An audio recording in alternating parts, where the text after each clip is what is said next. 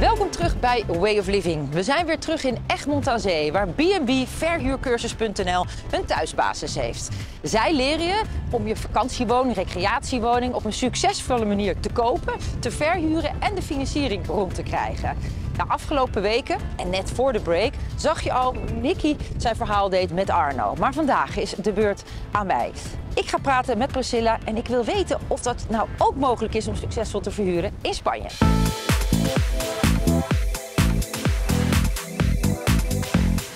Nou, Priscilla, zijn er nou bepaalde richtlijnen waar je rekening mee moet houden als je een huis wil verhuren in Spanje? Nou, waar je echt aan moet denken is dat je elke woning kan verhuren, maar er moet wel een verhuurlicentie op zitten. En het beste kan je dat regelen via een advocaat, want die weet precies van alle regeltjes af. En die hebben overigens ook in de cursus zitten. En adviseer je dan ook een bepaald type woning of een bepaalde regio? Ja, je kunt alle woningen verhuren, van een studio tot aan een villa.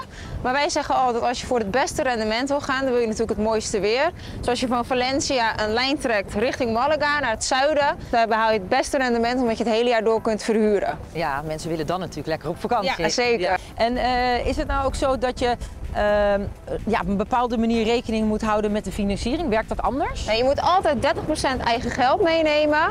En uh, het mooie voordeel daarvan is, dat je dat ook uit je overwaarde vanuit Nederland mee kunt nemen. En de overige 70% die financier je in Spanje. Nou, klinkt heel, heel feitelijk, heel handig. Ja, toch? zeker. Ja. En tot slot is, is dat eigenlijk niet heel omslachtig. Als je zelf in Nederland woont en een vakantiehuis verhuurt in Spanje, al wat geregeld. Nee, maar dat kan je overal ter wereld kan je dat doen. Want je kan alles online aansturen als je maar zorgt dat je je team ter plaatse gewoon goed hebt uh, geregeld. Dat is belangrijk. Ja. Nou, Priscilla, dankjewel. Volgende week meer, onder andere een successtory. Maar nu schakelen we naar Arno, want die zit op de second homebeurs in Utrecht en heeft een zeer interessante gast aan tafel.